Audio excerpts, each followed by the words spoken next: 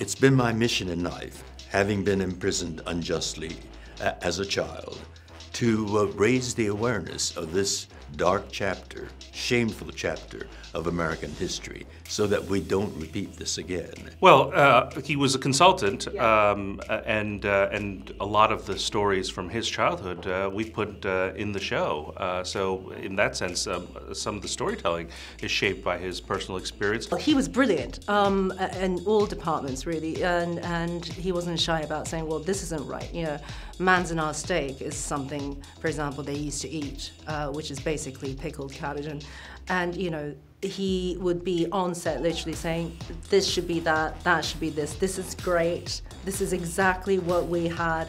You know, all of that. It, it just makes a huge difference. He's so funny and so cute on set.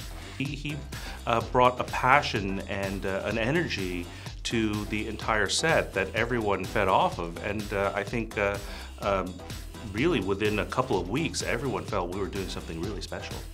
Alex Woo, the uh, showrunner and executive producer, said, uh, "You're an actor, and if you're gonna, we're gonna have you on the set. We get, we might as well get you in front of the camera."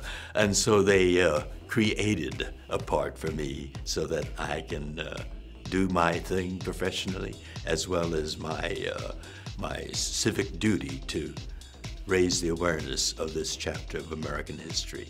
For me, being a, a Japanese American actor and to be working with one of the most legendary actors, period, of, of Hollywood, uh, it was pretty it was pretty surreal. Just having to have the opportunity to be in the same room, let alone work with Sir George, I call him Sir George.